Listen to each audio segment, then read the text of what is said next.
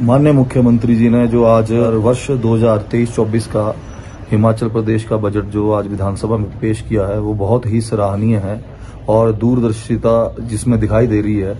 जैसा कि आप सबने देखा कि हर वर्ग को मद्देनजर रखते हुए माननीय मुख्यमंत्री ने बहुत सौगातें प्रदेश के लिए दी हैं और चाहे वो जो उनका विजन है ग्रीन हिमाचल के लिए, मैं समझता हूँ कि आज तक शायद ऐसा ऐतिहासिक बजट कभी भी नहीं आया है। और हालाँकि जो जैसे आने वाले जो उनका उद्देश्य है कि 2026 तक जो है, हमें पूरी स्टेट को ग्रीन स्टेट जो उन्होंने डिक्लेयर किया है, उसको इम्प्लीमेंट करके भी दिखाना है। बाकी चाहे स्वास्थ्य की बात हो, स्वास्थ्य के क्षेत्र में भी माननीय मुख्यमंत्री जी ने दिल खोल के अपना जो बजट का प्रावधान उसमें किया है, ताकि लोगों को सुविधाएँ पहुँचे। क्योंकि आप सब भली भांति जानते हैं कि अगर हमारा स्वास्थ्य ठीक होगा, तभी हम आगे भी कुछ काम कर पाएँगे। और स्वास्थ्य का विशेष ध्यान इन्होंने रखा है, चाहे वो शिक्षा के क्षेत्र में भी। माननीय मुख्यमंत्री जी ने करीब साढ़े आठ हज़ार करोड़ रुपए का बजट का प्रावधान रखा है।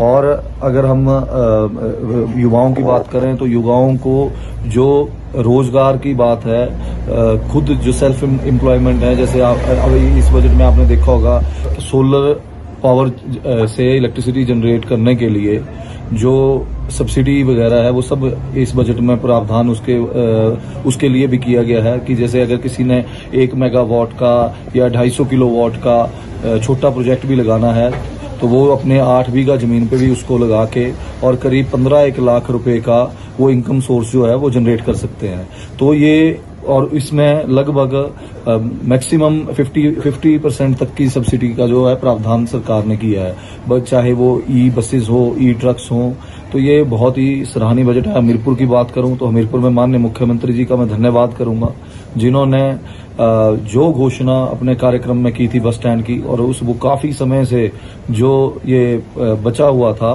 कि हमें जो डिमांड थी हमीरपुर विधानसभा क्षेत्र की कि वहाँ पे बस स्टैंड बनना चाहिए, उसको स्वीकार करते हुए बस स्टैंड भी डिक्लेयर किया। साथ में एक बस पोर्ट के लिए भी माननीय मुख्यमंत्री जी ने 10 करोड़ रुपए का बजट का प्रावधान इसमें किया है। मैं विधानसभा क्षेत्र के समस्त जनता, भगवान स्वरूप जनता की ओर से माननीय मुख्यमंत्री जी को बधाई देता हूँ, उनका धन्यवाद करता हूँ और इस ऐतिहासिक बजट के लिए उनको बहुत बहुत बधाई और शुभकामनाएँ देता हूँ।